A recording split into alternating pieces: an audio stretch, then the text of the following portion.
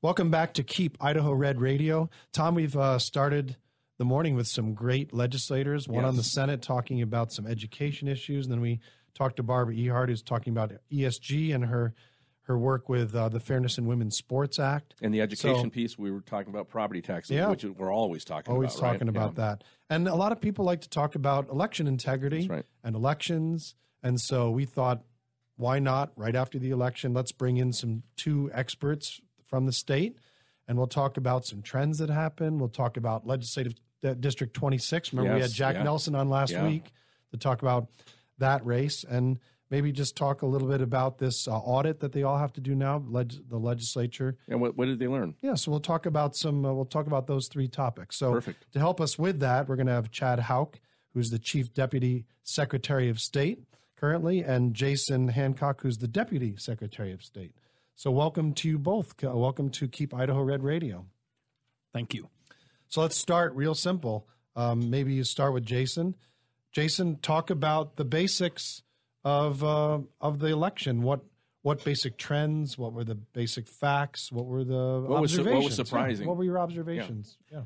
You know, I think we were a little bit surprised that uh, turnout was on the low side. We were expecting it to be higher than this, just uh, given kind of you know national enthusiasm for for different things. But I think you know what we learned is that uh, you know, when you have a, a, general election and when you have the, you know, kind of the minority party in Idaho, the Democratic Party, not really putting much money or effort into their top of the ticket races, it, it tends not to generate as much enthusiasm. You know, four years ago, you had Paulette Jordan at the top of the ticket. There was quite a bit of for the governor's race. For the governor's mm-hmm. race, you know, that's kind of your top of the ticket state race in Idaho, and that generated a lot of excitement uh, for for the Democrats and and brought some of them out, and also brought a response from the Republicans that they got themselves organized and spent money, and and so you know you you saw a good turnout four years ago. You didn't see that this time because you you didn't have much effort or money being spent on the other side uh, of that equation, and so. Uh, you know, we were on the low side. You know, over the last 30 years, you know, for these midterm general elections like this, it wasn't the lowest we've seen, but it was among the lowest. And what was the turnout for this state? What yeah, was it was, number? It was fifty six point eight percent is what we of registered voters of registered voters, right? Okay, and the other thing that had happened four years ago that we should mention is that we had a major Medicaid expansion initiative on the ballot and that also I think brought a, quite a bit of energy to that uh, election as well. That's true. And then you know this year we we could have ended up with the same thing. We were going to have an initiative an on the ballot one. to spend a lot more money on education, to have a major increase in, in taxes, income taxes. Yeah. Uh, and, and that would have brought a lot of people out too. But because of the special session of the legislature, uh, the proponents withdrew that uh, kind of at the last minute, and so it didn't end up on the ballot. Well, can I brag a little bit? Just yes, a little bit? do it. So Ada County Republicans turned out at 69.1%, and Ada County overall was what? About Ada a point and a half. Over, I think it was 58.6. Yeah, 58.5%. Right, yeah. so we were, we were above the yeah. state average, and what, what, but our Republicans turned out 10.5% higher than the Democrats. So yeah, so thank Jay, you, Republicans, for coming out. And and thank you, Vic, and the leadership there in Ada County to get those those voters out. Well, everyone, our whole team. Well, I said Vic and the Republicans in Ada County. Everybody, everybody, everybody. yeah, great. Uh, Jason, let's let's talk about some races that Vic and I were following um, in Latah County, over there in Bannock County, in the Magic Valley in District 26, in Ada County District 15.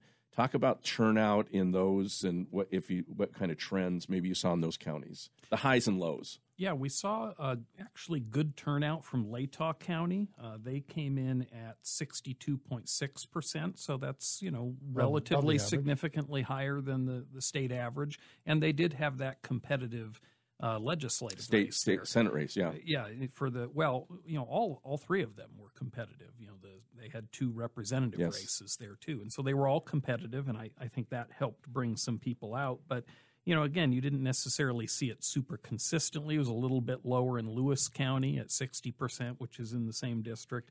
And then Nez Perce County is in that district too, and they were way down at 41.2%. Wow. Wow. Although it's a minority of Nez Perce County that's in District 6. Let's talk specifically about 26 because because of redistricting we brought uh, Blaine County, which is traditionally, you know, a high voter turnout for Democrats, but combine them with Jerome and Lincoln, Lincoln County. So, um, uh, Blaine County turnout versus Lincoln and Jerome County. Yeah. So Blaine County came in at 60.4%, and uh, Jerome County was at 52.7. Mm. Now, those are kind of the two population centers of the district. You've got Lincoln County in between. They were at 56.8, but there's not a lot of people who live there you know the two population centers are you know the Sun Valley area and and Jerome. So so it's safe to uh, assume or maybe guess that uh, if Jerome would have turned out at the same level as Blaine County, we may have had a different result in the two races that the Democrats won. Yeah, I think you almost certainly would have had a different result in that House 26A race. The the Senate race had a little bit more spread between them. I don't know if it would have flipped that one or not. Certainly would have made it closer though. Yeah. Great. Let, let, us talk uh, about um, election integrity. And uh, Chad Houck, let, us let's, let's get you in here. Um, a lot of conversations over the past number of elections uh, about election integrity, um, and uh, a, a, lot of states have uh, you know defended their efforts or explained their efforts. Right. Um, Idaho's actually been very proactive in not only claiming our elections are fair and accurate and and and done in, with, with with accurately and with integrity. But we've taken steps to to assure that and demonstrate it. So talk to us about that. You're absolutely right there, Tom. I mean, we've over the last number of years, both at the county level and at the state level, made significant investments um, in technology, in cybersecurity, in physical security, in training all the way across the board, full spectrum, just really looking at the processes in how we handle elections. And uh, it's not that they were broken before, but there was some room for improvement. And we found where those spaces were, and we've gone out. We've gone out and done audits in every county in terms of physical on-site visits to the county to help them understand maybe some improvements on where they're storing their ballots or how they're doing that. Uh, what physical things that they can make improvements on in their in their office spaces to help improve the potential for or reducing fraud or reducing risk of anybody being able to tamper with something. Uh, so just a, a, really broad stroke across the state of all the different investments that have been made, and it's turned out and been proven now more recently by these audits that we've been doing. Well, let's let's talk about the audits and and kind of the genesis of them. So, and then also like the results. Like, uh, are you happy? Are you yeah, pleased yeah, with with uh, audits, yeah. Absolutely. Know, what actually so happened? We've uh, for about three four years now. We've been talking about. We were one of only about eight states in the country that did not have on the books a statutory post election audit, and that was something Secretary Denney definitely wanted to address before his term was ended. Um, we've been working on it for. We tried two years for the legislation, and we're able to get that passed finally last legislative session. Uh, the legislation allows for a primary and general audit in even numbered years, so any of the statewide elections, and it brought along with it both the budget and the statutory authority to do so. What that looks like basically is we're going to go in on as the day after or the evening that all of the county canvases are brought in when their results become official when they get locked down. So how many days after election day is that? So it's seven to ten days, depending okay. on whether it's the general or the primary. And the in the primary, it's seven. In the general, it's ten.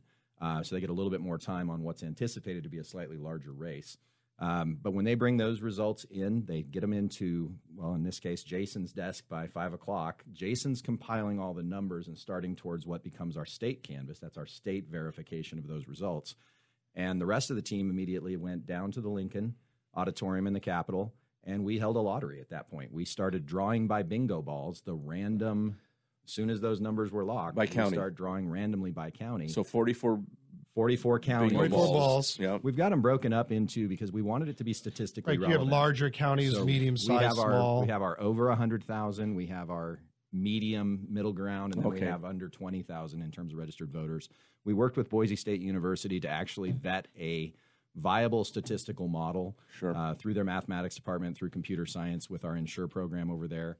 Uh, we were able to put this whole piece together and came up with a way to do a random draw of eight counties that gives a statistical representation across the spectrum relative to the size of the counties.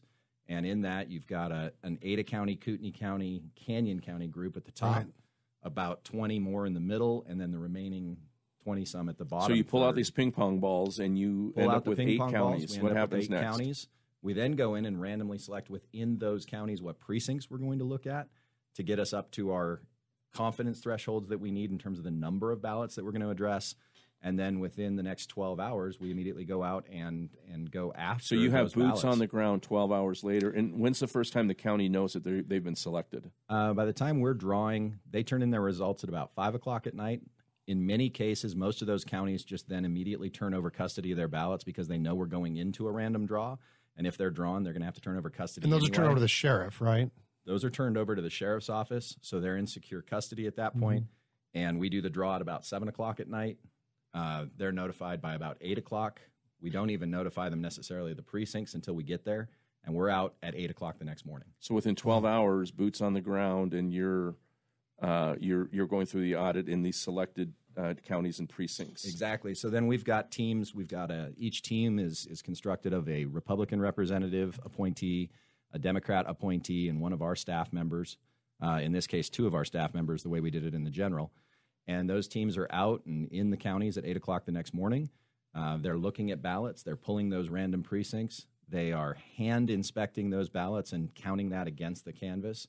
And then in this last one in the general, they're also looking at the ballot inventory controls. And where that's important is looking at and specifically diving into how many ballots were printed for that precinct, how many ballots were spoiled for that precinct. It's going after the reconciling and the math that goes into some the the analogy that somebody actually produced a fake ballot and got it in there. So, how many ballots did you ultimately uh, audit, and how did that turn out? So, in, last, in the last cycle, we looked at just under seventeen thousand uh, individual ballots. In terms of the inventory control, we were able to reproduce all but one. Uh, so sixteen thousand nine ninety nine out of seventeen thousand. You're talking about six one hundredths of a percent margin of error, uh, with an anticipated margin of error when we went out of. We were looking for one tenth of a percent. We found six one hundredth. So you you we, more we, than exceeded more a than very exceeded very high standard. Level, yeah. And it's a nice thing is when you don't have machine voting, right? You actually have a paper ballot, and we're putting it right. through, right? And that's exactly it. I mean, the, the great thing about Idaho's processes, we've always been paper. We never left paper. Uh, we hear that a lot because people moving in from other states or you know making that argument. We need to get back to a paper ballot. Well, Idaho never left. Well, we're very grateful uh, for the service that you um, have to the state.